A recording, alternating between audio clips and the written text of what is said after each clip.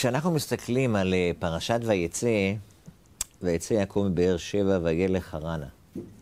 אז הפרשה היא לפני כן, היא מסתי... מסתיימת, פרשת תולדות, וירא עשיו כרעות בנות כנען בעיני יצחק אביו, וילך עשיו אל ישמעאל, ויקח את מחלת בת ישמעאל בן אברהם, אחות נוויות על נשיו לא לאישה. עשיו כבר היה נשוי לנשים, יהודית בת בארי, היה נשוי כבר. אבל הוא על נשיו, והנשים האלה לא היו מאוד טובות ליצחק ולרבקה, היה מורת רוח ליצחק ולרבקה. אבל הוא הלך, הוא ראה ששולחים את יעקב לחפש אישה, לא מבנות הכנעני. אז הוא אמר, אני גם ככה. והוא הלך ולקח את בנות ישמעאל. למה זה חשוב לנו לדעת מי עם מי עשיו התחתן? זה כזה נושא חשוב. מה אנחנו עשוויים, ישמעאלים? מה תגידו? זה פרט חשוב בהיסטוריה האנושית. יש הרבה פרטים חשובים בהיסטוריה האנושית, אבל התורה היא לא ספר היסטוריה. למה זה בא, למה זה בא לומר? וזה הסיומת של פרשת ותולדות, ואז התורה מתחילה, ויצא יעקב מבאר שבע. זה נקרא דורשין סמוכין, שתי פרשיות סמוכות, כתובות אחת ליד השנייה, שני נושאים. והדבר הזה מופיע, כן, בחז"ל, חז"ל מתייחסים לזה. רבי איבו אמר, על פסוק במשלי, הפסוק אומר, בפשע שפתיים מוקש רע, ויצא מצרה צדיק. בפשע שפתיים מוקש רע, מה זה המילים האלה? ממרד שמרדו עשיו וישמעאל בהקדוש ברוך הוא והכעיסו אותו, וכן השווא שהכעיסו אותו, באת להם תקלה. עשיו וישמעאל הכעיסו את הקדוש ברוך הוא ויצא להם תקלה מזה. זה תחילת הפשוק, הפסוק, בפשע שפתיים מוקש רע. ויצא מצרה צדיק, זה יעקב, שנאמר, ויצא יעקב מבאר שבע וילך חרנה. זאת אומרת, יש פה איזשהו קשר בין ה... המערכת הזאת של עשיו וישמעאל שמתחברים ביחד היא לא טובה. זו מערכת אה, תקולה, לא תקינה. מהקלקול הזה, ויצא יעקב מבאר שבע. וילך חרנה, וכל הסיפור של בניין עם ישראל יוצא מהחיבור הלא טוב הזה של עשיו וישמעאל. וכמו כל דברי חז"ל, חז"ל מדברים תמיד ב... תמיד ברמזים. הם רומזים לנו דברים. אבל היציאה של יעקב לבאר שבע זה בעצם הבניין של עם ישראל. ויצא יעקב מבאר שבע וילך חרנה. וחרן הוא יישא את רחל ואת לאה ואת בלעה ואת זלפה, ומזה ייבנה עם ישראל. בניין עם ישראל זה בעצם מתקלה שקורית אצל יעקב, אצל עשיו וישמעאל. שהם גם משפחת אברהם. ישמעאל זה בן של אברהם, עשיו זה הבן של יצחק. משפחה מדרגה ראשונה שלנו. אבל משהו מתקלקל שמה בחיבור הזה. וזה מה שבסליחות האשכנזיות אומרים ביום שלישי של עשרת ימי תשובה, כלה שעיר וחותנו, שעיר זה עשיו, וחותנו זה ישמעאל, שעשיו לקח מבנות ישמעאל. כלה שעיר וחותנו, מה... תכלה את החיבור הזה. ואז ויבואו לציון מושיעים. אז בעצם ועלו מושיעים בהר ציון, יש בו את הריסה ואת אנשי המלוכה וכולי וכולי. זה אז עם ישראל, יבוא המשיח. זה המעשה אבות סימן לבנים, מה שקורה, מה שיקרה לעתיד לבוא, כבר קורה היום. ויקרה לעתיד לבוא, איפה זה נמצא במעשה אבות סימן לבנים? פה, בפרשה שלנו. סוף הפרשה הקודמת, תחילת הפרשה הבאה. סוף תולדות, החיבור בין יעקב לבין עשיו, ויצא יעקב מבאר שבע וילך חרנה. זה פה עכשיו זה נבנה. רק צריך להבין איך זה עובד. הדבר הזה מופיע בעוד הקשר, עוד הקשר של בניין של עם ישראל. אנחנו קוראים בפרשת וזאת הברכה. השם מסיני בא וזרח משעיר למו. הופיע מהר פרן ועתה מרבבות קודש. אומר רש"י, השם מסיני בא, כשהשם בא לתת תורה בהר סיני, וזרח משעיר למו. הוא הגיע מהר שעיר, הוא הציע לעשו את התורה קודם, ועשו לא רצה לקבל אותה. הופיע מהר פרן, הר פרן זה המקום איפה שישמעאל נמצא. הוא הציע גם לבני ישמעאל את התורה, וגם הם לא רוצים. לא עשיו ולא ישמעאל. מימינו יש דת למה, ואז עם ישראל מקבלים את התורה. זה היה מעמד הר סיני. מעמד הר סיני שלנו ובעצם הוא יושב על הסירוב של ישמעאל ועשיו, או עשיו וישמעאל לקבל תורה. בתורה זה שעיר וזרח משעיר. למה? הופיע מהר פרן. קודם כל עשיו, אחרי זה ישמעאל. זאת אומרת, התורה שאנחנו מקבלים, זה תורה שסורבה על ידי דחייה של החיבור הזה של יעקב, של ישמעאל ועשיו. הגאון מווילנה, שמה, על באדרת אליהו, על הפסוק הזה, אז הוא מביא דברי חז"ל, שחז"ל אומרים שהשר של ישמעאל והשר של עשיו נתנו מתנות לעם ישראל. בסירוב שלהם אנחנו קיבלנו מתנה. מה קיבלנו? את הכוח שלהם. כשבורא עולם רוצה לתת תורה לעשיו, לעשיו יש כוח לקבל תורה. כשהוא רוצה לתת את התורה לישמעאל, גם לישמעאל יש כוח לקבל תורה. יש להם כוח. הם לא רצו. הם נתנו מתנות, את הכוח הזה הם נתנו מתנות לנו, לעם ישראל. זה ישמעאל ועשיו, זה שני הכוחות האלה. מה זה ישמעאל ועשיו? ישמעאל כמו השם שלו, שמיעה. עשיו זה עשייה. אנחנו יודעים שכשעם ישראל קיבלו תורה, מה הם אמרו? נעשה ונשמע. נעשה זה כנגד עשיו, ונשמע כנגד ישמעאל. וזרח משעיר למו. קודם כל, עשיו נתן לנו את הכוח של העשייה. עוד מעט נבהר את זה. אז אמרנו נעשה. ישמעאל סירב. אמרנו ונשמע. נעשה ונשמע, זה הסדר שאמרנו. לא נשמע ונעשה, אלא שעיר, קודם כל עשיו, עשייה, ואחרי זה ישמעאל. נעשה ונשמע. הנעשה ונשמע שלנו יושב על הסירוב של עשיו ושל אה, ישמעאל לקבל את התורה. מה זאת אומרת הכוח של ישמעאל שמיעה? כוח שמיעה אמיתי, שמיעה אמיתי, זה אדם שהוא קורא את האוזניים שלו לשמוע מה השני מדבר אליו. לפעמים קורה לנו הרבה שאנחנו מדברים אל מישהו, ואז הוא פונה אלינו בשאלה, או שהוא מאיר הערת אגב, ואז אנחנו אומרים, תשמע, אתה לא מקשיב מה שאני מדבר אליך, אתה לא מקשיב. שמיעה זה אומר שאני אמור לאפס את עצמי, פשוט להיות כולי פנוי לשמוע מה המדבר, לקבל את מה שהוא אומר. שמיעה נקייה. אנחנו בדרך כלל רוצים לשמוע מה שאנחנו רוצים לשמוע. אנחנו לא שומעים טוב. שמיעה נכונה זה שמיעה שהיא... אני מבטא... מה אתה אומר? מה אתה אומר? כל מה שאתה אומר, אני בולע את מה שאתה אומר, אני מכניס אליי פנימה, דרך האוזניים. השמיעה זה כוח שמכניס דברים אליי. ביטול של עצמי למה שהשני אומר. ישמעאל היה לו את הכוח הזה, כוח אדיר של שמיעה. ישמעאל יכל באמת להיות זה שאומר לקדוש ברוך הוא, נשמע. מה שתגיד אנחנו נשמע. כוח אדיר של שמיעה. אבל ישמעאל עיוות את הכוח הזה. הוא לקח את כוח השמיעה, אבל עיוות אותו. יש לשמוע, אבל יש אדם שגם כל עניינו זה שמיעה.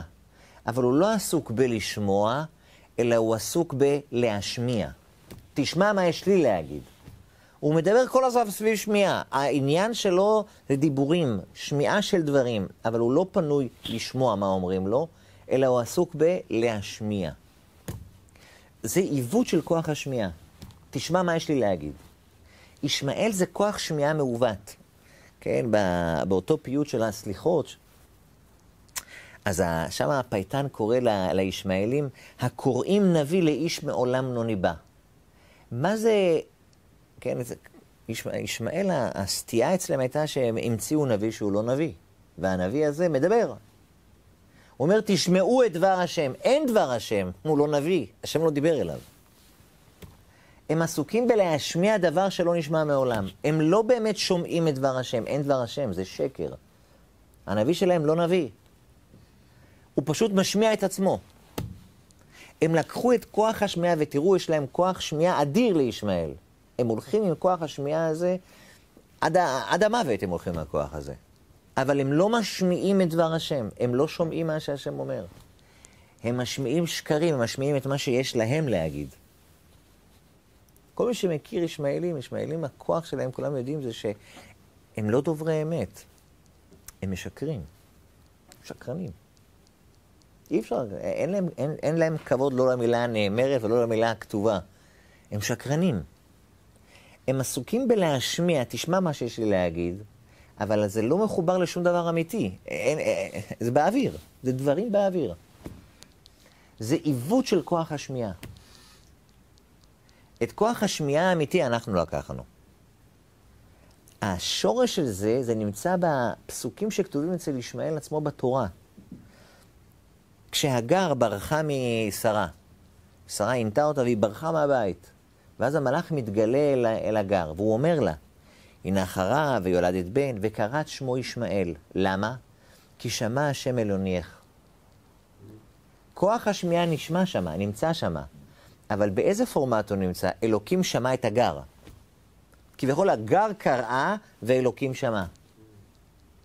בפסוק על ישמעאל עצמו, אחרי זה כשאברהם אבינו, כן, כששרה אמרה גרש את האמה ואת בנה, גרש אותם. אז היא זרקה את ישמעאל, הוא היה חולה, זרקה אותו, אמרה, מתרחקה כמתרחבת קשת. ואז כתוב, וישמע אלוקים את כל הנער, ויקרא מלאך אלוקים אל הגר מן השמיים, ויאמר ויאמר למלאך הגר, אל תראי, כי שמע אלוקים את כל הנער. אלוקים שומע גם את ישמעאל. גם הוא וגם אימא שלו, כן? הם מופיעים שם בהקשר של שמיעה, אבל לא שהם שומעים את דבר השם, אלא שהשם שומע את דבריהם. הם הלכו עם הכוח הזה ולא קידמו אותו לכוח השמיעה האמיתי שזה להתבטל, לבטל את עצמי, מה השם אומר, מה השם רוצה. הם מנבאים דברים שלא לא נמצאים. כל הדת שלהם זה שקר אחד גדול, הם משמיעים את עצמם. הוא אמר. זה שקר, אף אחד לא אמר לו את זה, הוא המציא את זה. והם עצמם שקרנים. זה, כל מי שעובד איתם יודע, אין להם מילה אמת. משקרים על... על, על... כמעט המושג אמת לא שייך אצלהם, כמעט. כוח שמיעה מעוות. עשיו זה כוח של עשייה. עשיו קיבל כוח אדיר של עשייה. כל מי שמסתובב בעולם יכול לראות את ההבדלים בין המדינות של עשיו למדינות של ישמעאל. איזה כוח עשייה אדיר יש לעשיו. הם יודעים לעשות דברים. השם ישמור, כן, להבדיל. כן. כוח העשייה להרע. כן, עם ישראל, כן, אנחנו חווינו את זה על בשרנו ממש, השואה הארורה הזאת, אבל מלחמת העולם הראשונה, מלחמת העולם השנייה, במצ... במצטבר, סדר גודל של ההרוגים היה באזור 50 מיליון איש. זה כשעשיו עושה מלחמה. בכמה שנים ספורות. אצל הישמעאלים אנחנו יודעים, יש מלחמות, לגבי מלחמות, כל הזמן, כל הזמן, כל הזמן. לכמה הרוגים הם מגיעים? סך כל המלחמות, כל האביב הערבי, החורף הערבי, כמה? עוד לפני כן תוסיפו מלחמת איראן-עיראק, כל המלחמות. מיליון וחצי איש, שתי מיליון איש. אין, אין, אין, אין, אין להם, הם לא חזקים בעשייה, חזקים בדיבורים. עשיו זה כוח עשייה אדיר. כוח העשייה של עשיו, הכוח הזה הוא היה אמור לקבל תורה. התורה הרי מדברת על לעשות. כוח עשייה אדיר. אם עשיו היה רותם את כוח העשייה האדיר שלו לדבר השם, התורה שניתנת, והוא יקיים אותה, יעשה אותה, זה היה עולם תורני. כוח עשייה אדיר יש לעשיו. אבל עשיו ניתק, גם כן הוא עיוות את כוח העשייה. כוח העשייה הוא תמיד מגיע, יש מה בורא עולם רוצה שתעשה, ואתה עושה את מה שהוא רוצה. לעשות את מה שצריך לעשות. מה צריך לעשות? את מה שהשם רוצה. זה כוח עשייה נכון. הוא עיוות את זה, הוא לא עושה מה שהשם רוצה. הוא עושה את מה שהוא רוצה. והוא עושה את זה טוב, אבל את מה שהוא רוצה. זה עיוות של כוח העשייה. אדם קיבל כוח עשייה כדי לעשות את מה שצריך לעשות. מה צריך לעשות? מה שבורא עולם רוצה, הוא הבעל בית. הוא הבעל הבית, הוא קובע. כשמעוותים את כוח העשייה, אז עושים דברים נפלאים, אבל לא מה שהשם רוצה. עושים את מה שהוא רוצה. וזה בעצם שורש של uh, עבודה זרה. עבודה זרה, אלוהים אחרים, מה שנקרא. יש אלוקים שאומר לי מה לעשות, אלוקים אמת, אבל כשאין אלוהים, זה אלוהים אחרים, זה שקר, אין. אבל האדם שם לעצמו פסל, והוא עכשיו, הוא ממציא את החוקים של העבודה זרה שלו. והוא עושה את מה שהעבודה זרה שלו אומרת, אבל זה בעצם מה שהוא רוצה, הוא עושה את מה שהוא רוצה. כוח עשייה אדיר, אבל הוא עושה את מה שהוא רוצה. זה השורש של העבודה זרה. כן, הנביא אומר את זה על, לעם ישראל. אשור לא יושיענו. אנחנו עסוקים מי יעזור לנו? ברית הגנה עם זה, עם זה. אשור זה היה אימפריה בעולם העתיק, לא יושיענו. על סוס לא נרכב. אנחנו מחפשים תמיד את הדברים הטכניים שיעזרו לנו. אומר הנביא, ולא נאמר עוד אלוהינו למעשה ידינו. לא נעשה את מעשה ידינו לאלוהים. במקום להיות, לשעבד את המעשה לדבר הנכון, אנחנו משתעבדים למעשה. עולם העשייה, תעשה משהו. תעשה משהו. לעשות ולעשות ולעשות במנותק ממה שבור עולם רוצה. ולא נאמר עוד אלוהינו למעשה ידינו. מעשה ידינו, זה האלוהים שלנו. לא נאמר עוד. זה שני כוחות שהיה לישמעאל והיה לעשו. אילו הם היו מקבלים את זה, אלה קיבלו את השמיעה ואלה את העשייה. הם היו מקבלים את התורה, מסכימים לקבל את התורה, הם היו מצטרפים אלינו. אלה נותנים את כוח השמיעה האדיר, לשמוע ולהתבטל בפני מה שבורא עולם אומר. ואלה היו נותנים את כוח העשייה האדיר שלהם לעשות את רצון השם. אנחנו בתור עם ישראל, שאנחנו יודעים לחבר שמיעה לעשייה, כמו שעם ישראל אמרו, נעשה ונשמע, זה היה לתקן עולם במלכות ש"ד י', לתקן עולם במלכות שקאי. העולם היה מתוקן, זה מה שיהיה כשיבוא המשיח. כן? שהכל יהיה מתוקן.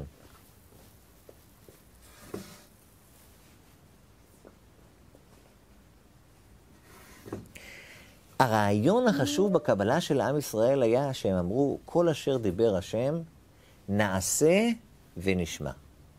הם הקדימו את הנעשה לנשמע. הם לא אמרו נשמע ונעשה, אלא אמרו נעשה ונשמע. מה זה נעשה ונשמע? נעשה, כשאני אומר נעשה בלי נשמע, זה אומר שאני מבטל את ה... בוא נגיד ככה, כשאני אומר נעשה, אני אעשה דבר. אם אני אומר, תגיד לי מה לעשות ואז אני אעשה, אז זאת אומרת שהעשייה שלי תלויה במה שאני אשמע. פה נעשה ונשמע, אני חותם, אני אעשה כל מה שתגיד. זאת אומרת, אני לא מתנה, העשייה לא מותנה בשום דבר. אני מוכן לעשות הכל. כשאני רוצה להגיד למישהו, תשמע, אני הולך אחריך באש ובמים, כל מה שתגיד, לא משנה מה, אני איתך. עם ישראל אמרו לבורא עולם, נעשה. מה שתגיד נעשה. אבל נעשה, בלי התניות. לא, טוב, נשמע, אחרי זה נראה, נעשה. בלי שום התניה.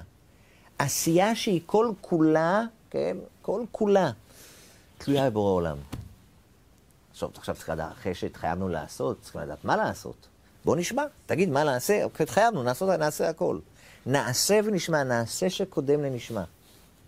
זה, זה החיבור הנכון בין הנעשה לנשמע. עשו וישמעאל עיוותו את שתי הכוחות האלה.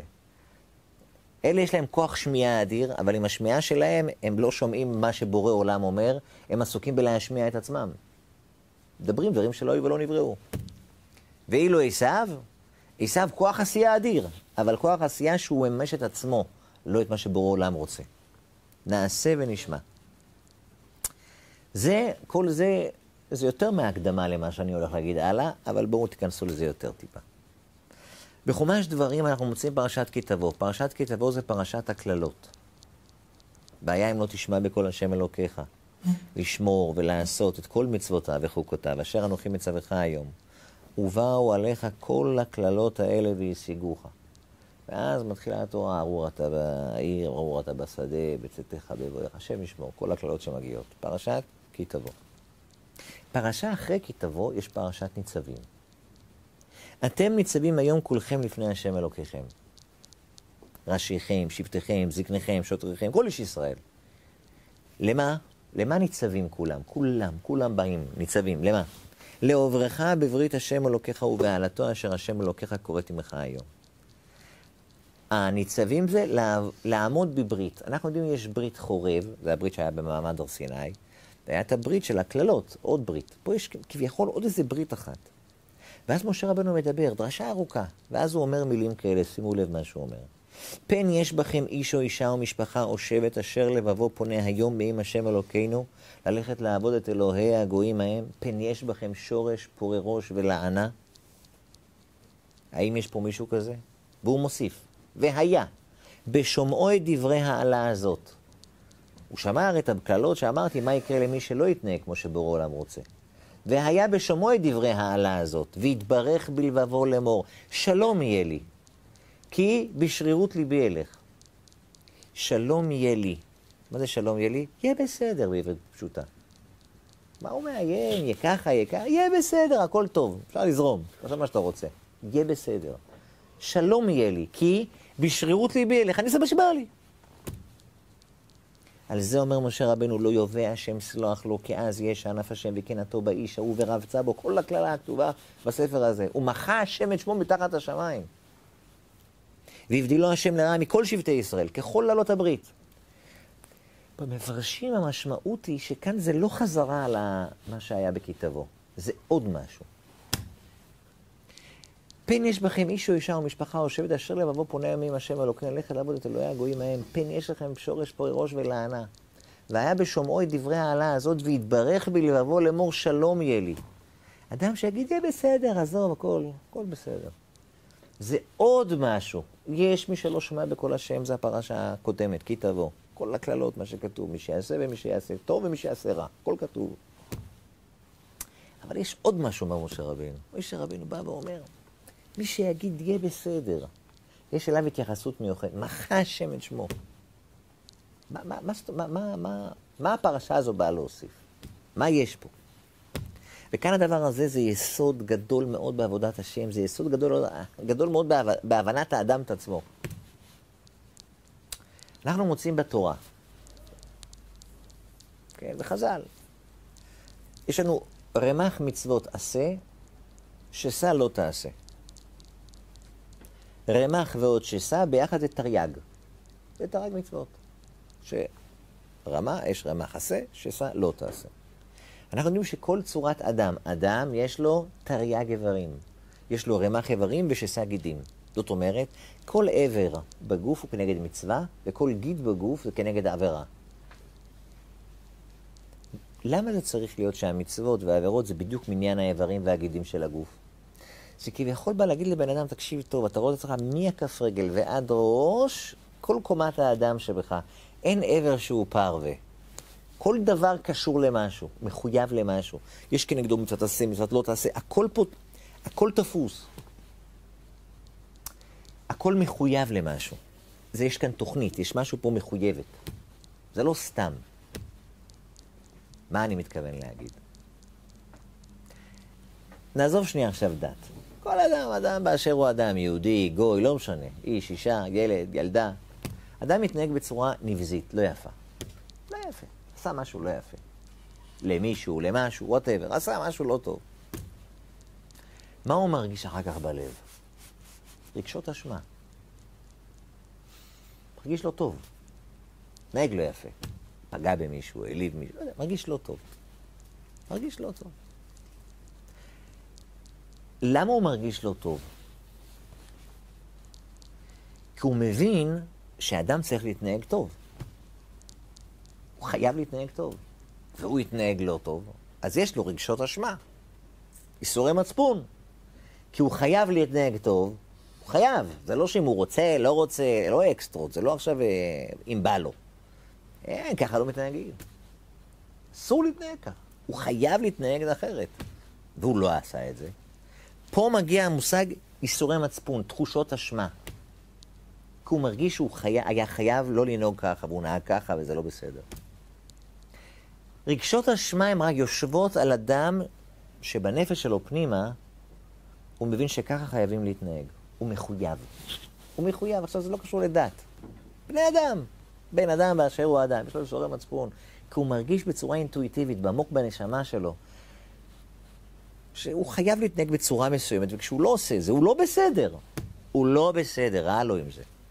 זה רגשות אשמה, יושבת על, יושבות על תחושות של, על, על הבנה בסיסית שהאדם מחויב לקוד מסוים, להתנהגות מסוימת. יש עוד צורת חיים חוץ מהצורה הזאתי? בהחלט כן. אנשים לא חושבים על זה, אבל יש. היום אומרים לאנשים, למה אסור לגנוב? דוגמה, למה אסור לרצוח? אומרים לילד, תקשיב, אתה היום גונב להוא, מחר הוא גונב לך. איזה, איזה עולם זה? אין חיים, זה אנרכיה. כדי שלא נחיה בעולם אנרכי, בעולם שאיש את רעהו חיים בלאו, צריכים לעשות חוקים. אתה, מה ששלך, שלך, מה ששלו, שלו. ברצותך תיתן לו, אבל אם אתה לא רוצה, אתה לא חייב לתת לו, והוא אסור לקחת לך. וכמו שלו לא אסור לקחת לך, גם לך אסור לקחת לו. זאת אומרת, יש הרבה אנשים שמבחינת ההתנהגות התקינה שלהם, הם אנשים שומרי חוק. אבל אדם שזה כל הראש שלו, למה הוא לא, למה הוא לא גונב? כי אם הוא יגנוב, מחר יגנבו לו, איזה חיים זה יהיה? אז הוא מבין שהם צריכים לעשות משטרה, בתי משפט, סדר, עולם מסודר. אדם שחי ככה, אם במקרה, בטעות, בלי שאף אחד בעולם יודע, כן? תגיע אליו חפץ של השני. יש לו רגשות אשמה, מה זה עושה אצלי, אני אקח את זה, זה לא בסדר. אין לו. כי הוא לא לקח, והוא לא התכוון לקחת, ואף פעם גם לא יתפסו אותו. בטעות, אחד החשבונות שלו לא חויבו. הוא מרגיש צורך להתקשר לחברה, להגיד, תשמעו, החודש הזה היה לי חשבון, לא, לא חייבתם את החשבון שלי. אם יעלו על זה, שיבקשו, ניתן להם. אבל... היי, אבל זה, זה, זה אסור, זה גזל, אתה גזלן, אתה חייב להם כסף. לא, הוא לא מרגיש שהוא גנב. אין בעיה לגנוב, מה הבעיה לגנוב? לגנוב זה, תיקח לו, ייקח לך, לא, אני לא לקחתי שום דבר, מה? אדם שהוא ירא השם, הוא לא, כשאומרים לו לא תגנוב, זה לא אל תגנוב, כי אם אתה תגנוב, יגנבו לך. גם אם גונבים לך, אסור לך לגנוב. אסור לגנוב. אסור, זה גזל. בורא עולם אמר אסור, נקודה. כשאדם יש לו פרוטה לא שלו אצלו ביד, הוא לא נרדם בלילה, צריך להחזיר את זה. לכו לבני ברק, שברת אבדה, שברת אבדה, שברת אבדה. על שווה פרוטה ועל פחות משווה פרוטה, כל דבר. יש צורת אדם שהיא לא מבינה מושג של מחויב, אין מחויב. אנחנו כבני אדם יוצרים לעצמנו עולם של חיובים, אבל זה לא כי באמת זה ערך אמיתי, אלא כי זה ככה נוח לחיות. עולם מסודר, צריכים חוקים. תמור עצור, צריך לעצור, צומת מסוכן, אתה לא נכנס לספורט, אתה תיכנס, יהיה תאונה. אז אתה לא תיכנס, כדי שלא ייכנסו בך. היגיון. אבל אין ערך, בל... אין, אין, אין ערכים, אין, אין עולם של ערכים. אין עולם של מחויב. אתם מבינים מה שאני אומר? זה עולם של סדר טבעי. בסדר, מסדרים את המערכת, שכל אחד לא ידרוך על השני, שכולם יוכלו לחיות, אבל לא כערך. אין ערך. זה עולם של פטור. אז יש עולם של מחויב ויש עולם של פטור. ביהדות העולם הוא, אדם נברא כמחויב. ומכאן, מבשרי חזה אלוקה, כל אדם, גם בלי שהוא מאמין גדול, או מאמין בכלל, הוא אמור להרגיש שכשהוא מתנהל לא בסדר, יש לו ייסורי מצפון. והייסורי מצפון האלה, מאיפה מגיעים? מזה שהוא מרגיש שהוא לא בסדר. למה אתה לא בסדר? איפה כתוב שצריכים להיות בסדר? צריך, חייבים ככה. מרגיש חובה. זה אומר שמי קבע את הכללים האלה? זה עצמו, המילים האלה, זה עצמו תפיסה של מחויב. אדם מרגיש שיש בורא לעולם שקבע כללים, ואני פה לא עושה בעולם מה שאני רוצה. יש חוקים, יש צורה איך צריכים לחיות. וככזו, יש בורא, ואני ברור, אני עושה מה שהוא רוצה. זו תפיסה של מחויב. ויש תפיסה שאומרת, אין שום דבר, אין שום בורא, אין שום דבר. אפשר לעשות, באופן עקרוני מותר הכל. רק סתם ככה, שלא נתנגש אחד בשני, נעשה סדר במערכת, אבל לא כערך, אלא כצורת חיים סבירה, נעימה. זה שתי צורות חיים. אברהם אבינו חז"ל אומרים, כן, משל למה הדבר דומה לאדם שהיה הולך ב- ב- ביער וראה בירה דולקת. אברהם אבינו רואה, אומר, יש כמו, רואה בית עם אורות דלוקים, הכל שם, אומר, תאמר שאין בעל לבירה. זאת אומרת, אם יש כאן בית גדול ויפה, והאורות דלוקים, זה אומר שמישהו פה רוצה לעשות עם זה משהו. זה לא סתם. זה מחייב משהו.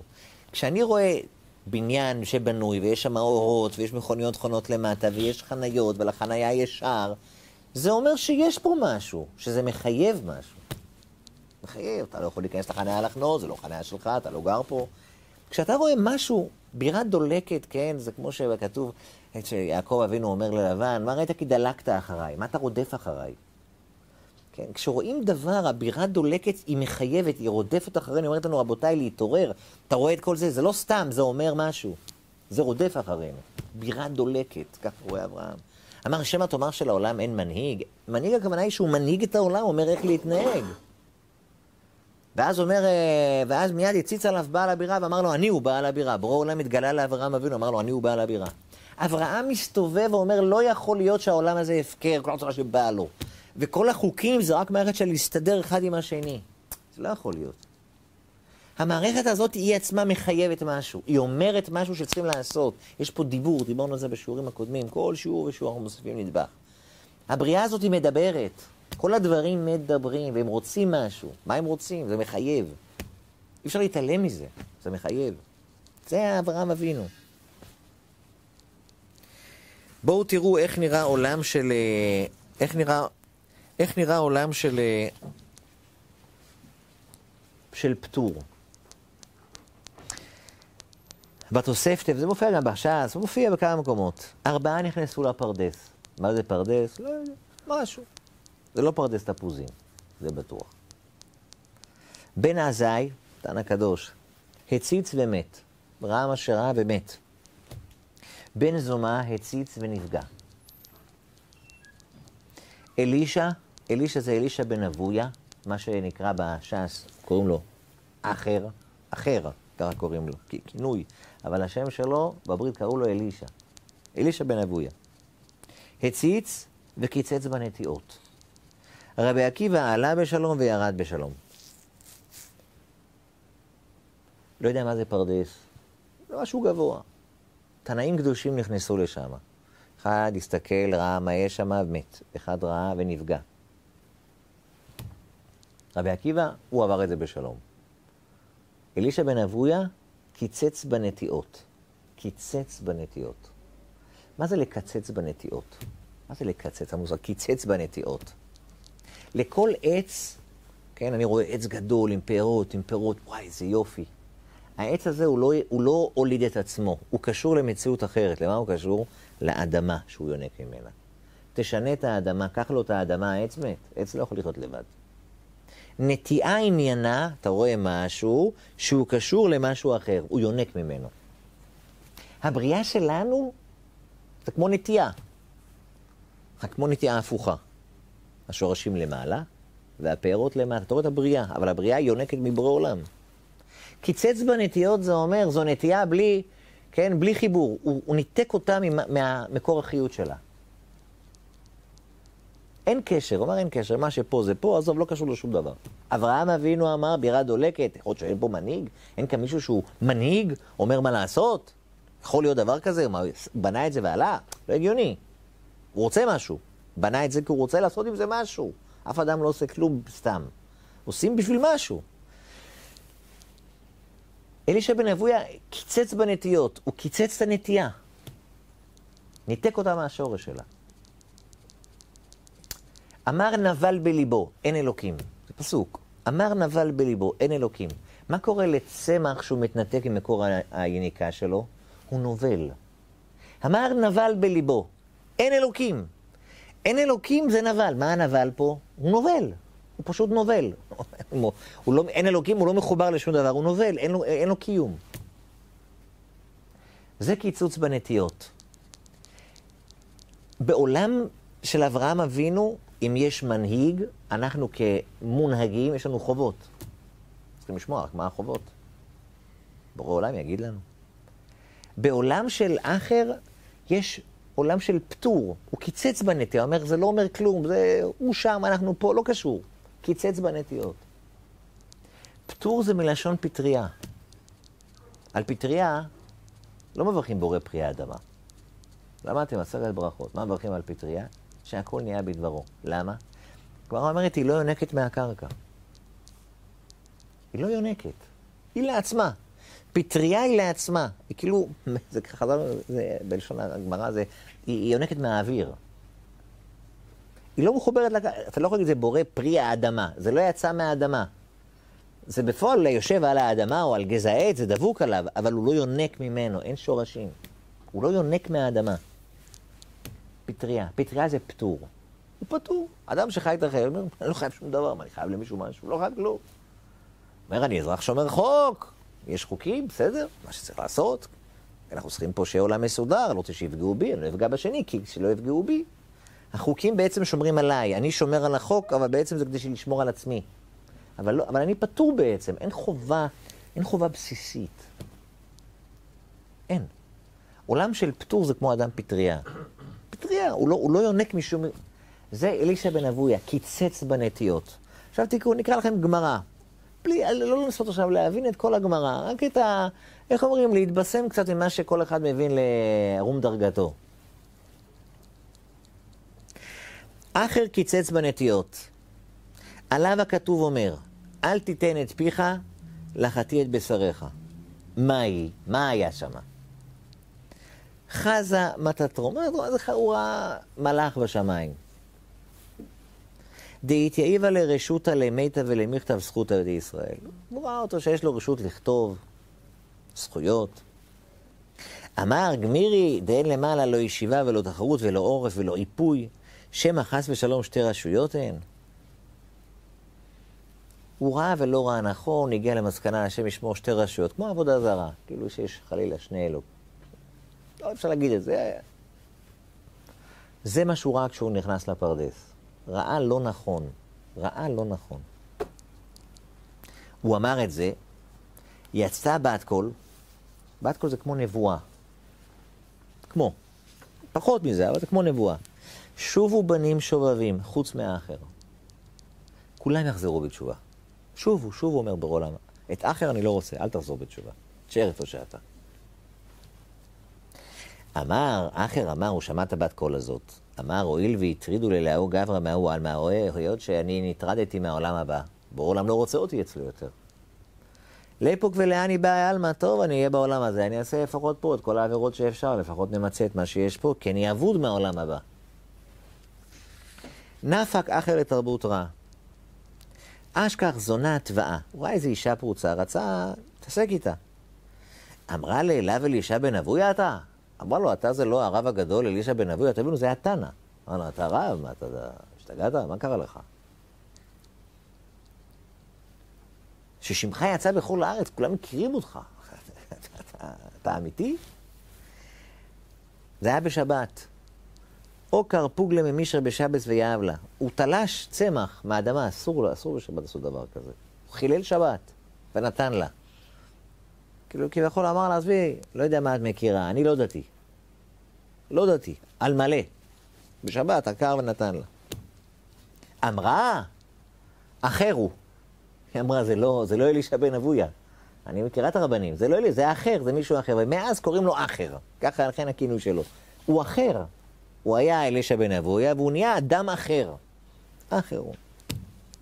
שאל אחר את רבי מאיר. רבי מאיר היה תלמיד שלו, רבי מאיר בעל הנס, זה ליד טבריה. היה תלמיד של אלישע בן אבויה. לאחר שיצא לתרבות רע, פגש אותו אלישע בן אבויה, אחרי שהוא כבר היה כבר, השם ישמור מה היה, הוא פגש את רבי מאיר, התלמיד שלו לשעבר. הוא אמר לו, מהי דכתיב לו יערכן הזהב וזכוכית ותמורתה כלי פז? זה פסוק באיוב. אמר לי, אמר לו רבי מאיר, אלו דברי תורה, שקשים לקנותן ככלי זהב וכלי פז, ונוחים לעבדן ככלי זכוכית. ללמוד סוגיה עד הסוף בעיון זה מאוד קשה, מאוד קשה להתייגע, להתייגע. אתה עובד קשה, אבל לאבד את זה, זה בקלות. בקלות, כמו כלי זכוכית, שזה נופל לרגע, לא שמים לב, זה נופל, זה נשבר. קל מאוד לאבד את זה. אמר לו, אמר לו אלישע בן אבויה, רבי עקיבא רבך לא, לא כן אמר. הרבי הבא של רבי מאיר זה היה רבי עקיבא. אמר לו, הרבי שלך רבי עקיבא לא אמר ככה. אלא מה כלי זהב וכלי זכוכית, אף על פי שנשתברו, יש להם תקנה? כלי זהב וכלי זכוכית, אפשר, גם זכוכית שהתנפצה, אפשר לאסוף את כל השברים, להתיך אותם מחדש, ולעשות כלי חדש. כלי זהב נשבר, אפשר להלחים. כך תלמיד חכם, אף על פי שסרח, יש לו תקנה. אמר לו, ככה הרבי שלך הסביר את הפסוק. שמע את זה רבי מאיר, אמר לו, אף אתה חזור בך. אתה הרי תלמיד חכם שסרח. תחזור בך, תחזור בתשובה. אמר לו, כבר שמעתי מאחורי הפרגוד, שובו בנים שובבים חוץ מהאחר. הוא אומר, אני כבר שמעתי מלמעלה, ברור העולם לא רוצה אותי. אני כבר אבוד. תנו רבנן, מעשה באחר שהיה רוכב על הסוס בשבת. אסור נוסע ברכב בשבת, אתם מבינים? והיה רבי מאיר מהלך אחריו ללמוד תורה מפיו. רבי מאיר, כן, הגמרא אומרת איך היה מותר לרבי מאיר ללמוד תורה מאדם רשע. רבי מאיר היה אדם מאוד גדול, אז כתוב שהוא, היחס שלו היה תוכו אכל קליפתו זרק. הוא ידע לברור. אנחנו לא יכולים, אנחנו אנשים קטנים, אנחנו לא יכולים ללכת לאנשים מפוקפקים, לשמוע את כל השטויות שלהם, ומתוך זה אנחנו נדע לברור את מה שנכון. כי אנחנו, איך אומרים, ממרום קוטנינו, אנחנו עלולים לעשות הפוך, לבלוע את כל השטויות ואת הדברי תורה שיש לו להגיד, את זה בכלל לא נבין. אנחנו לא מתעסקים עם דברים כאלה. רבי מאיר, מאיר בעל הנס, פחד. הוא ידע להיזהר מהרעל שיש לאחר לתת לו. אז אה, אחר, תחשבו על המחזה, מחזה סוריאליסטי. רב לשעבר, תנא לשעבר, נכנס לפרדס, תבינו, זה לא... אתה רוכב על סוס בשבת. ורבי מאיר, הקדוש, התנא הקדוש, אנחנו היינו רואים דרמר הולך פה עכשיו ברחוב, היינו מתים רק מפחד. הוא הולך אחריו ושומע ממנו דברי תורה. כיוון שהגיע לתחום שבת, הגיעו לאלפיים אמה מחוץ לעיר, אמר לו, מאיר, חזור בך. אחר, אלישע בן אבויה, אומר לתלמיד שלו לשעבר, רבי מאיר, אומר לו, מאיר, עד כאן, אתה לא ממשיך, אתה דתי. אני, אני לא דתי, אבל אתה דתי, אתה תחום שבת, אתה לא מחלל שבת. אמר לו שכבר שיערתי בעקבי הסוס עד כאן תחום שבת. הוא אומר אנחנו מדברים בדברי תורה, ככה אומר לו אלישע בן אבויה, אבל תוך כדי אני בראש סופר את הפסיעות של הסוס. יש לי כמו מונה בראש, סופר את הפסיעות, זהו, הגיע תחום שבת, זה אלפיים אמה עד כאן. אז אמר לו, מאיר, תחזור. אתה חוזר לעיר, אני ממשיך הלאה. אמר לו רבי מאיר, ואף אתה חזור בך. אמר לו, רבי, תחזור גם אתה. תחזור גם אתה בתשובה. אמר לו, אבל לא כבר אמרתי לך, שכבר שמעתי מאחורי הפרגות שובו בנים שובבים חוץ מאחר. רבי מאיר תקפק, לא אמר לו, בוא, בוא, בוא, אתה חייב לבוא איתי. לקח אותו לבית מדרש. ואי לבית מדרש, אמר לו לאינוקה. הוא קרא איזה ילד, כן? חז"ל אומרים שמיום שהסתלקה הנבואה מעם ישראל, נתנה לחכמים, חכם עדיף מנביא. גם לילדים קטנים שלומדים תורה, יש להם גם כן את זה. ובגמרא יש הרבה פעמים שאומרים לילד, רוצה לדעת מה יהיה, אומרים לו, ילד, תגיד איזה פסוק, מה למדת? והילד בתמימות אומר מה הוא למד, ומה שהוא למד זה קשור לשאלה שאני שואל, כמו נבואה כזו. אמר לי לינוקה, פסוק לי פסוקיך, מה, מה למדת? אז הוא אמר לו, בדיוק היום למדנו את הפסוק בישעיהו, אין שלום לרשעים, אמר השם. אחר אומר לנו, אתה רואה? ואתה אומר לי לחזור בתשובה, הנה, אתה רואה? נבואה. אמר לו, לא, לא, בוא נלך לעוד בית כנסת. איילה לבית כנישתא אחריתא, הלך לבית כנסת אחר. אמר לי, לינוקה, פסוק לי פסוקיך. תגיד פסוק, הביא לו פסוק מירמיהו. אמר לו, אצלנו בכיתה הם למדו פסוק ירמיהו הנביא. מה היה? מה הפסוק? כי אם תכבסי בנטר, נטר זה חומר ניקוי. גם אם תעשי כביסה בחומרי ניקוי, ותרבי לך בורית, בורית זה עוד חומר ניקוי, תשימי הרבה חומר ניקוי. נחתם עוונך לפניי.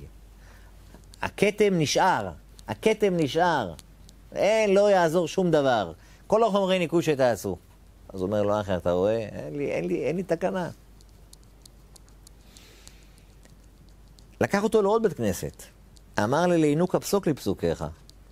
אמר לי, גם כן פסוק מירמיהו, פרק ד', ועד שדוד מה תעשי? כי תלבשי שני. כן, כאילו עם ישראל ילבשו בגדים יפים. וכי תעדי עדי זהב, ישימו תכשיטים. וכי תקראי בפוך עינייך, ישימו גם כן איפור. לשווא תתייפי. לא יעזור לכם, כך אומר הנביא, לא יעזור לכם. כלום, מה שלא תעשו, לא יעזור. מה לא, אתה רואה? אין לי, אין לי תקנה. תקפה ואיילה בית ליסר במדרש, לקח אותו ל-12 בתי כנסיות, כל מקום מביאים לו פסוק. אומר לילד, באקראי, תגיד איזה פסוק, כל פסוק פגז אחר. הרג אותו. איילה בית ליסר במדרשה, פסקו לי כי היגמנה לבשותה. כל הפסוקים היו ככה לבושתו, הכוונה היא שכמה, שהוא אבוד. ינוקה דה סופט ליסר, הילד בבית כנסת ה-12. אמר לו, פסוק לי פסוקיך. אמר לי, ולרשע אמר אלוקים, מה לך לספר חוקיי? מה אתה מתעסק בכלל עם התורה? לך, רשע.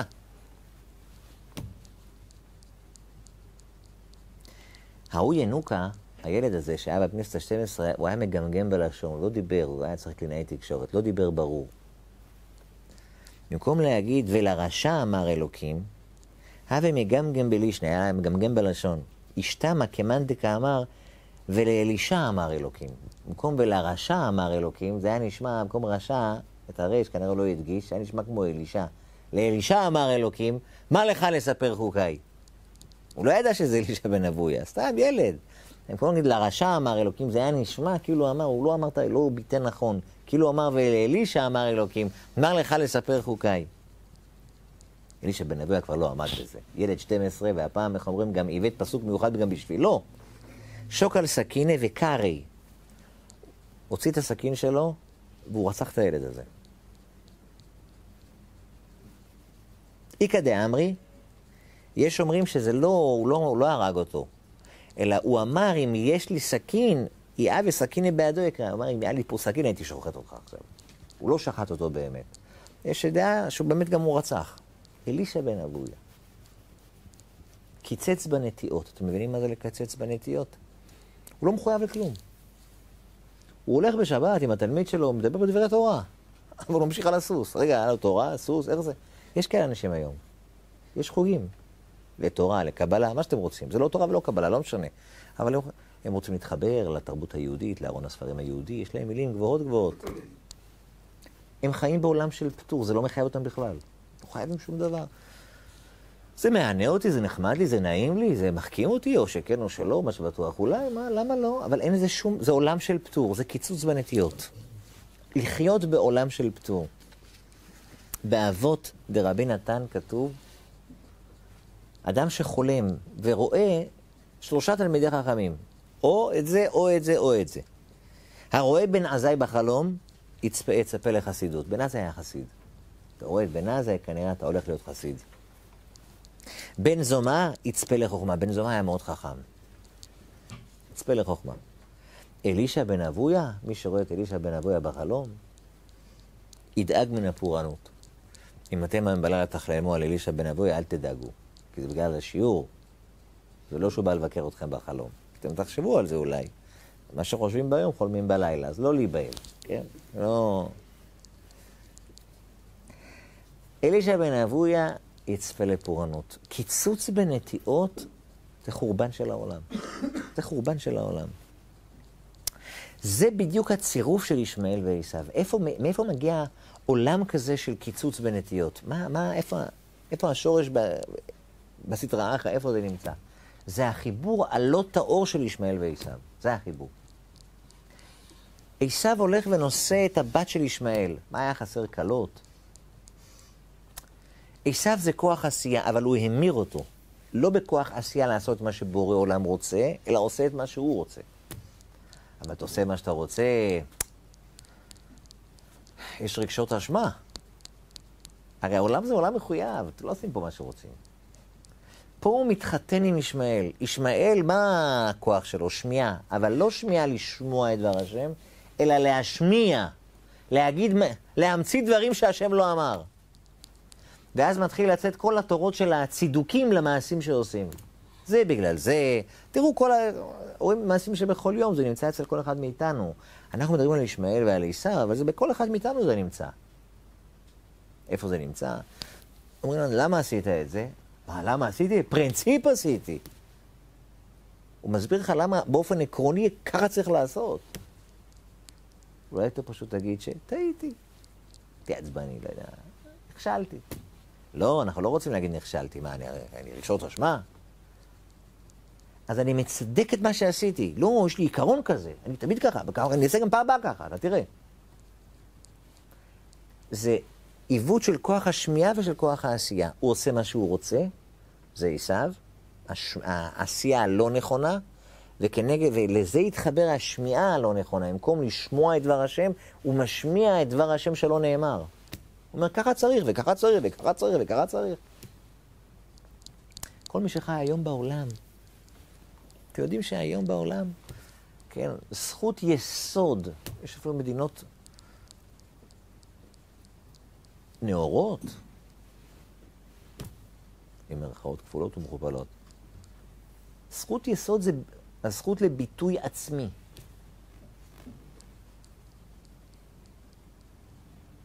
היום כולם מדברים על הזכויות שיש לילדים.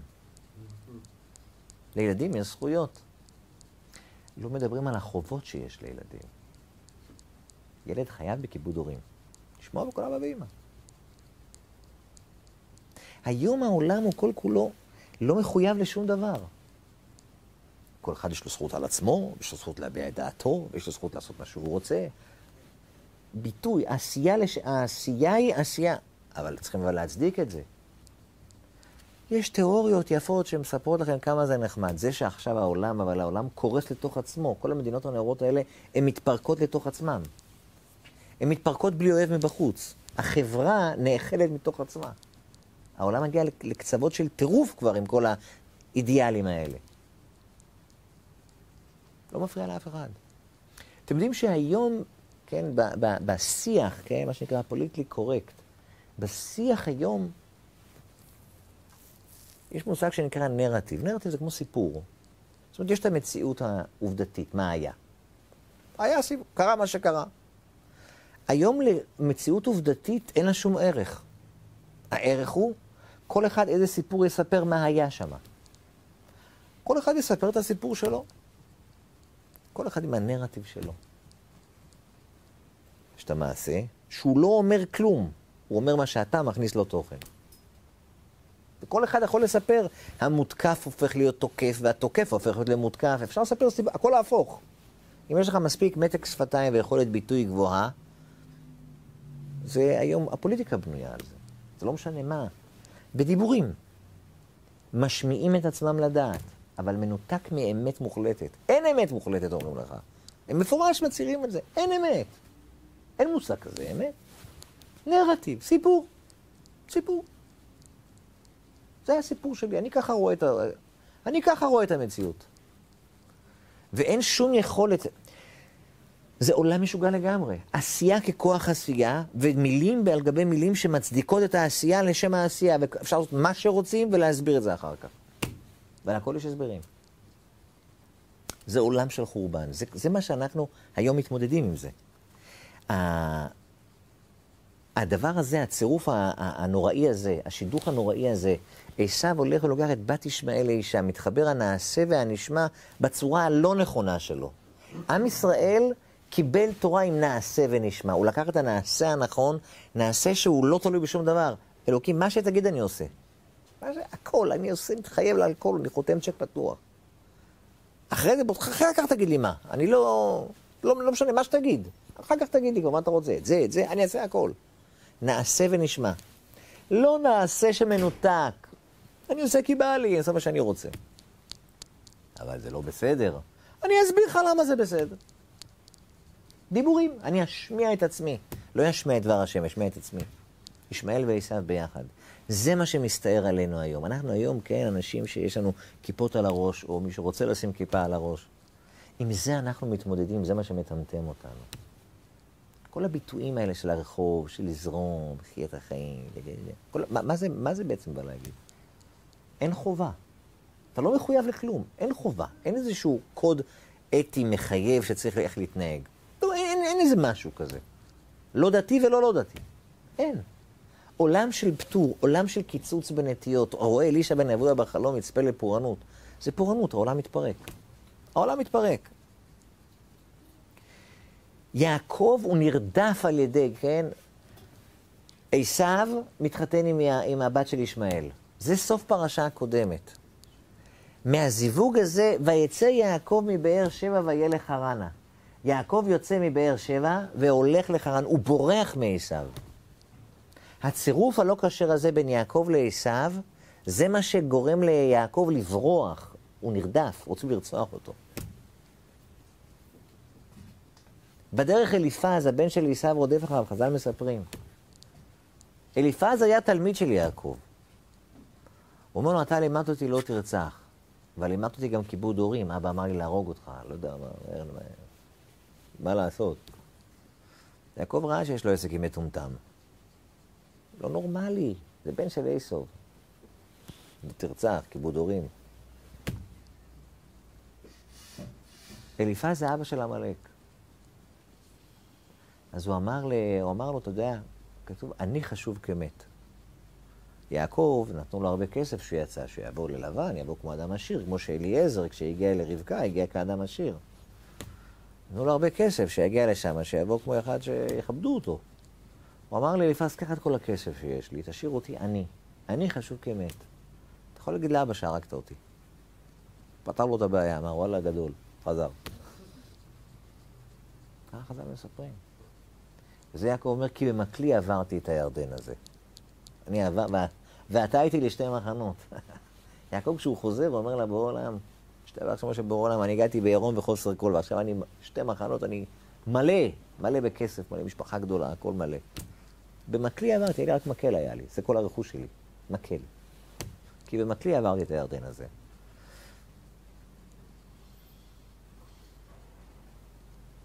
הוא נרדף, רוצים להרוג אותו, לקחו לו את כל הכסף שלו.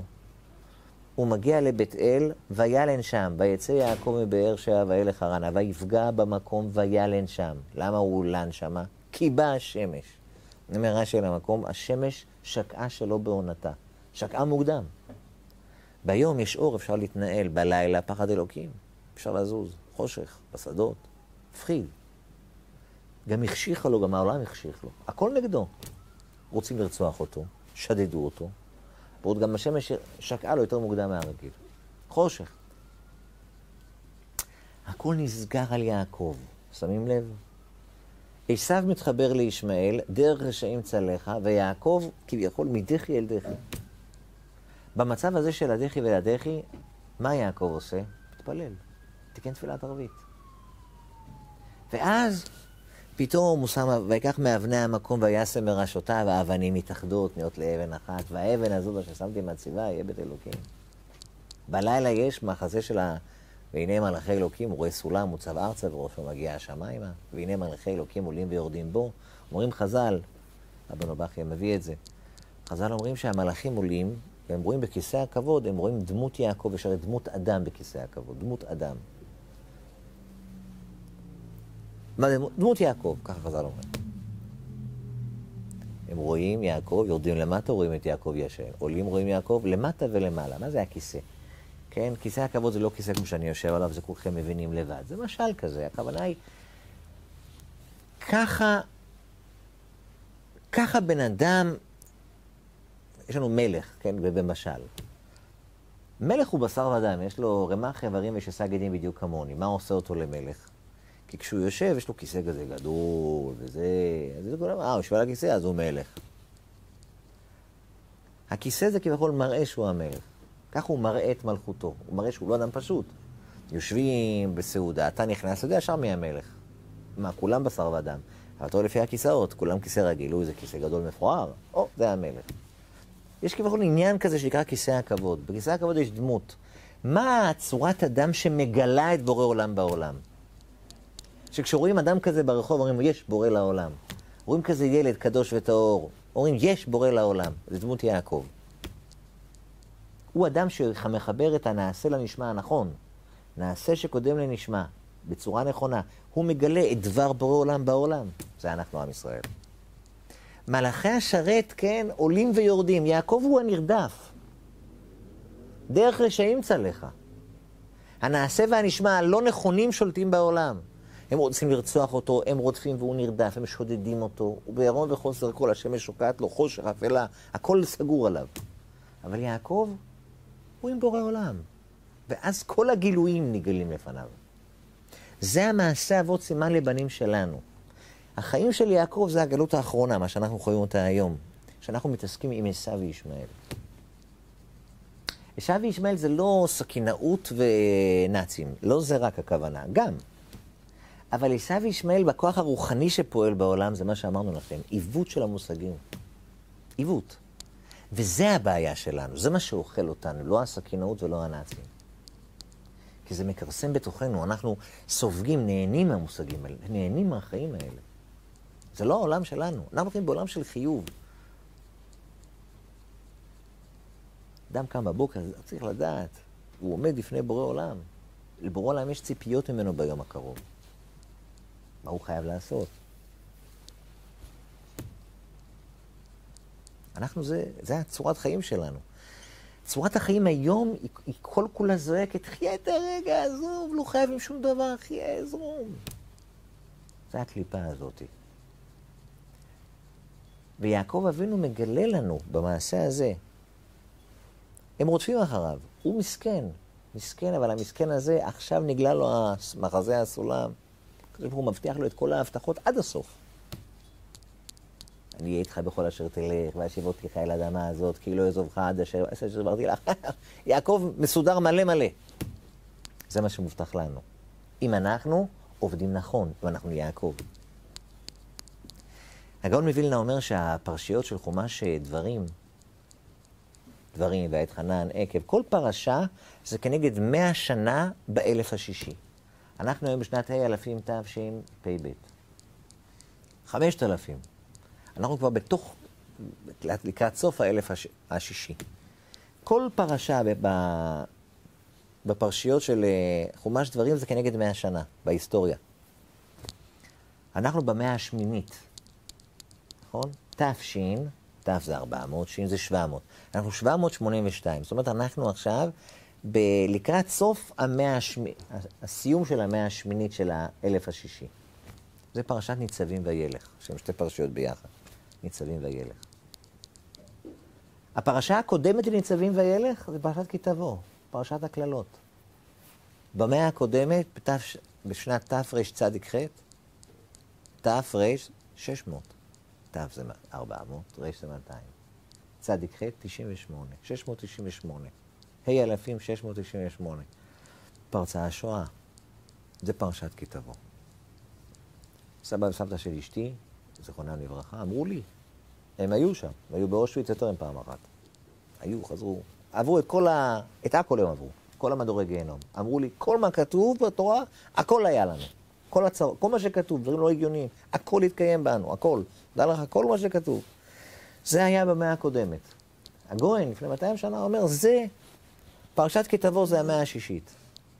המאה השביעית, זאת אומרת, 600 ו... אנחנו במאה, במאה השמינית עכשיו. בפרשת ניצבים. פן יש בכם איש או אישה או משפחה או שבט, אשר לבבו פונה היום עם השם אלוקיכם. ללכת לעבוד אלוהי הגויים מהם. פן יש בכם שורש פורי ראש ולענה. מישהו עדיין חושב לחטוא לבורא עולם? ראיתם מה היה.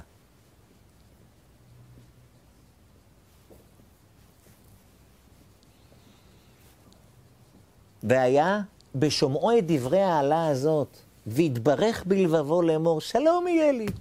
אז היה שואה, אז מה, זה לא יכול לקרות פעם. לא יהיה, הכל בסדר, תרגיעו, הכל בסדר. למדנו מניסיון העבר. כל יום העצמאות מכריזים פה, לא תהיה שואה שנייה.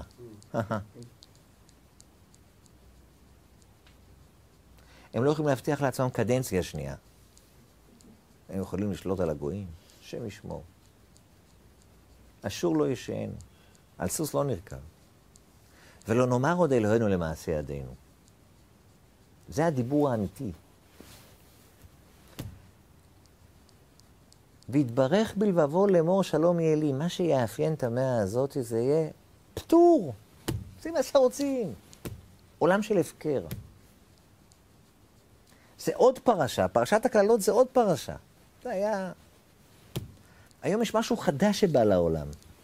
חיים ששוללים בכלל את החיוב, לא חייבים בכלל. לא שחייבים, רק פה לא התגברתי, פה נכשלתי, פה... לא, לא זה. לא חייבים, זרום. זה המאה הזאת. זה המאה המפחידה הזאת. מרגישים את זה. מרגישים את זה. זה מה שמדברים אלינו. זה מה שעובד עלינו, פועל עלינו. פה אנחנו צריכים להתחזק.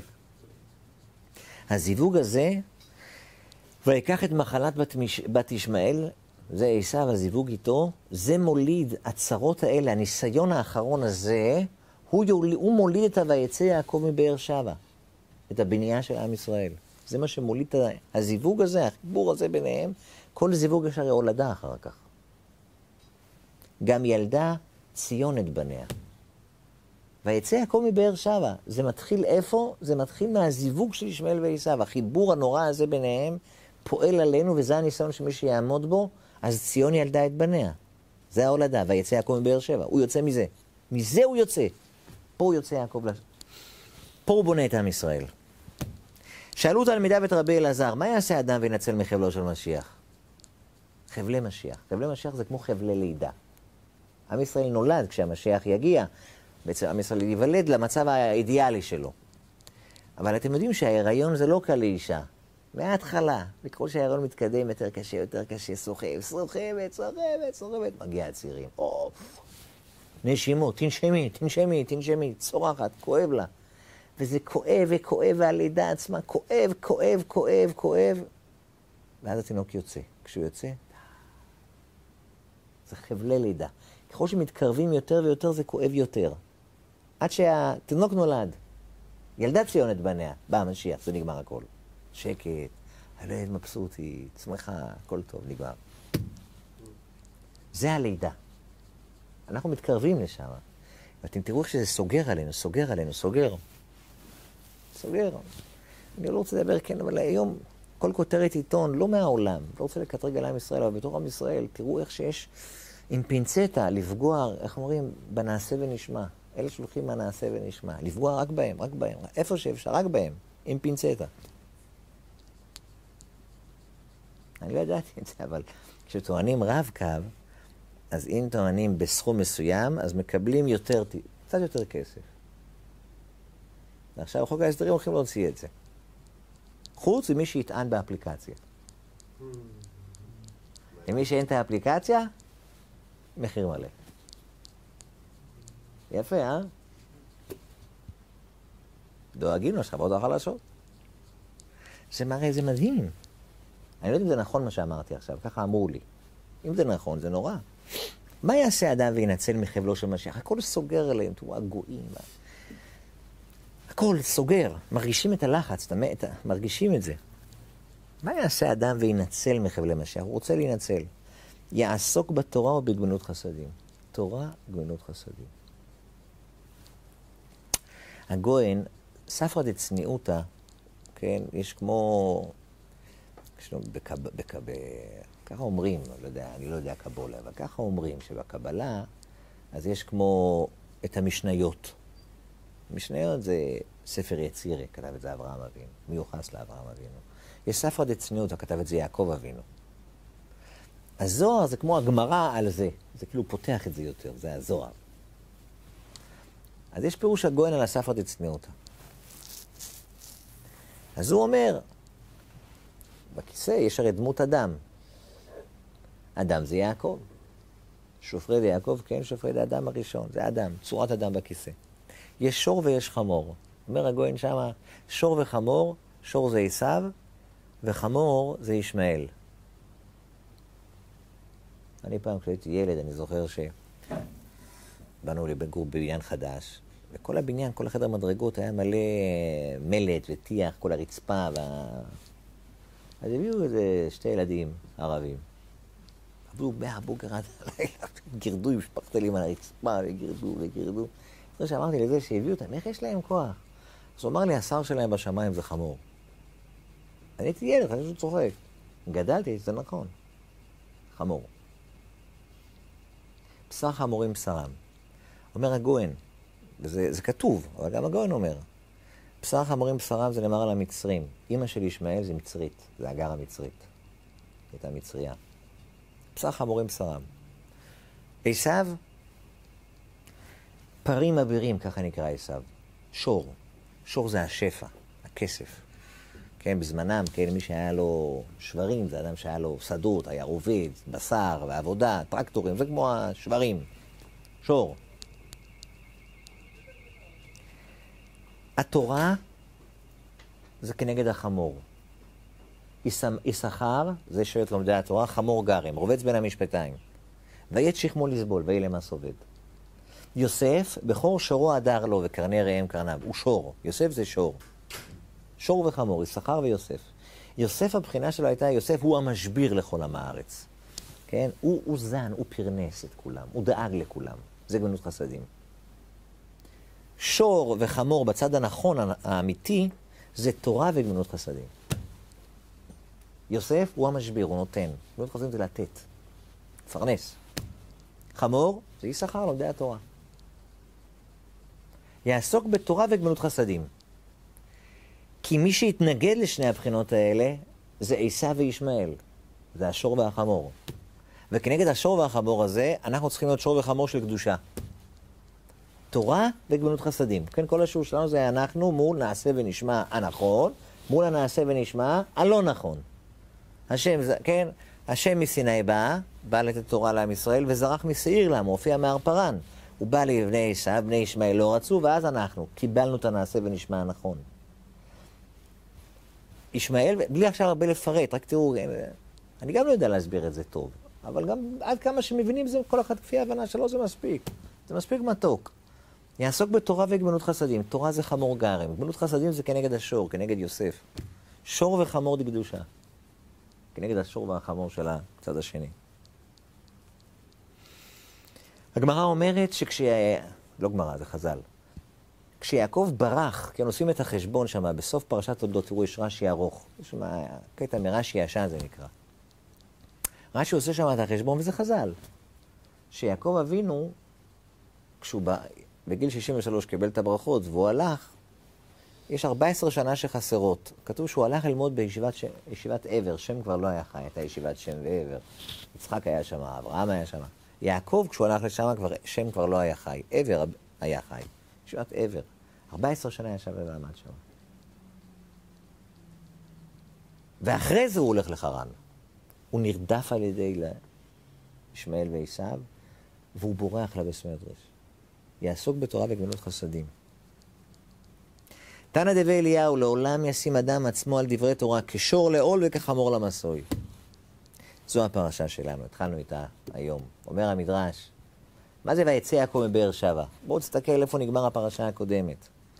רבי עברו אמר, בפשע שפתיים מוקש רע, ויצא מצרה צדיק. בפשע שפתיים מוקש רע, ממרד שמרדו עשיו וישמעאל בקדוש ברוך הוא והכעיסו אותו, וכן אשיו שהכעיסו אותו. מהמרד הזה, כן, זה החז"ל הראשון שהבאנו בשיעור. מהמרד הזה הם הפסידו את הייעוד הקדוש. הם איבדו, יצאו מהמשפחה. באה להם תקלה. ויצא מצרה צדיק, מהצרה, עת צרה היא ליעקב, זה עת צרה. וממנה יבשע. הצרה היא מולידה את הישועה. ויצא מצרה צדיק, זה יעקב, ויצא יעקב מבאר שבע. הלך ללמוד בישיבה. שיהיה לכולנו לילה טוב.